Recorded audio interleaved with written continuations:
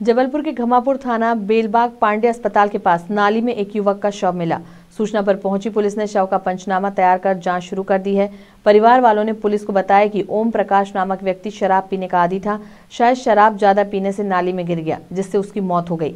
Police ने मामला दर्ज कर शव पीएम के लिए भेजकर मामले की जाँच शुरू की है। सूचना प्राप्त हुई एक व्यक्ति नाले में डला हुआ है, संदिग्ध अवस्था में। पेट्रोलिंग के पास पहुंचकर देखा नाले में पांडे अस्पताल के बाजू में एक नाला वहाँ जाके पहुंचकर देखा तो एक व्यक्ति नाले में डला हुआ मिला। इसको बाहर निकलवाया गया तो वो मृत अवस्था में मिला। उसके परिजन भी वहाँ पर आ गए बताया कि अत्यधिक शराब पीता था। उसकी पत्नी भी पंद्रह साल करीब उसकी फौजी जा चुकी क्योंकि अडिक्ट था शराब पीने का आदि था। नाले में गिरने से उसकी डेथ हो गई।